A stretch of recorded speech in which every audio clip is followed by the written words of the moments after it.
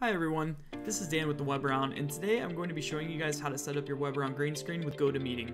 Please note that GoToMeeting does not have native chroma key features available, so we're going to be utilizing ManyCam to chroma key. ManyCam is a third-party application that allows you to adjust camera settings and is completely separate from GoToMeeting. There are many third-party applications that will allow you to add a chroma key background to your meetings, so take a look around for what's best for you. Getting your WebAround green screen working with GoToMeeting should take about one minute overall. Let's get started. Let's start off by opening up GoToMeeting's desktop client and starting a meeting. These settings can be recreated for meetings that you're invited to as well. When you're in the main meeting room, let's navigate to the top right and click on the cog icon. This will open your settings sidebar. Right at the top of the sidebar, you're going to notice the webcam drop down box. Click on it and select your camera. In this case, because we're using ManyCam, we're going to be selecting the ManyCam virtual webcam instead of our main camera.